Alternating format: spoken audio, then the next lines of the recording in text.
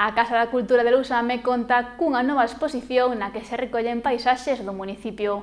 A mostra, sempre con Lousame do veciño Juan Carlos Lorenzo, está formada por 30 cadros. A Sala Municipal de Exposicións de Lousame acolle unha nova mostra. O veciño de Tallará, Juan Carlos Lorenzo, presenta 30 cadros nos que o municipio é o principal protagonista en facer, o sea, temos aquí unha representación de lugares de Lousame que ainda falta que ten máis carros destes que, bueno, igual se lles gustaría telos a outros concellos, non?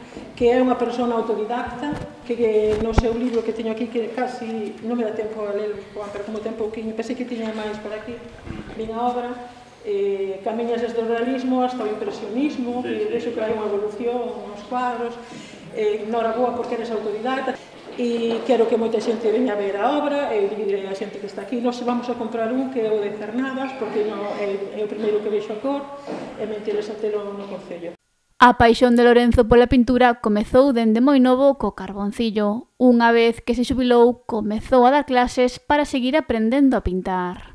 Entonces, isto eh, é, é traballo. Encántame. Encántame a calquera hora que teño libre a la boca para arriba. Qualquer hora. Eh, eh, busco um corrucho por aí, eh, saco-lhe a foto, eh, como me encanta, hasta que acaba a obra não, paro, não paro. Já a mulher tem uma patente comigo que, bueno, já é assim. O meu é isso. Tamén tivo o apoio dos seus compañeiros de Osón do Pote, que o arruparon na inauguración da exposición titulada Sempre con Lousame, recordando anécdotas como os anos pasados na Mariña Mercante ou un cadro que pintou de esteiro a raíz dunha foto. Esto de entrada, toda ensenada da ría de Molos é precioso.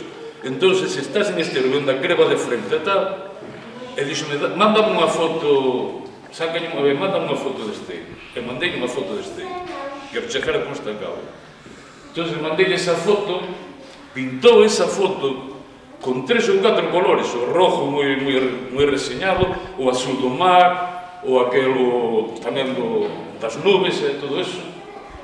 Diz a miña casa vese, incluso se ve Portusín pero bueno, aí non chegou entón pintou a zona onde está a playa de Parmeá a zona onde estaba o Ponte de Esteiro as casas de enfrente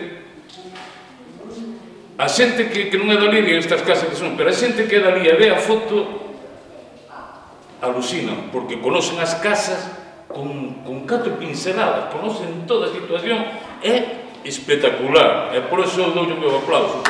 O seu profesor Lino Costas definiu a Juan Carlos como unha persoa moi traballadora. Eh, vai collendo as cousas ben. Non se calaría porque lle diga que non está a usar o eh, traballa moito é o que ten. Despois, cada un ten o seu estilo e non hai nin se poden facer comparacións uns con outros. Lorenzo afirmou que lle faltan moitos recunchos de lousame por pintar.